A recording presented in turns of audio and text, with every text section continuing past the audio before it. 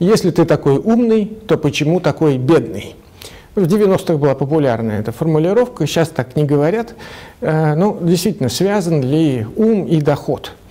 На самом деле вы, я думаю, встречали умных людей, очень начитанных, очень образованных, э, которые не зарабатывали э, существенных денег. С другой стороны, иногда встретишь человека, и вроде бы он ну, там, не семи пядей во лбу, но при этом и хорошо зарабатывает, и достигает результата. С чем это связано?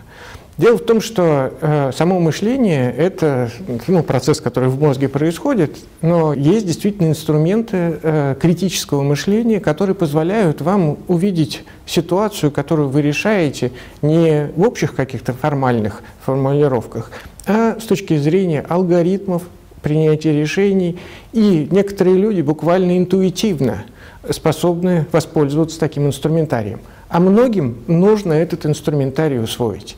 И вот критическое мышление, оно действительно позволяет нам приземлиться с высоких сфер на фактическую действительность и решить те жизненные задачи, которые перед нами стоят. Будь то отношения, будь то работа, будь то самореализация.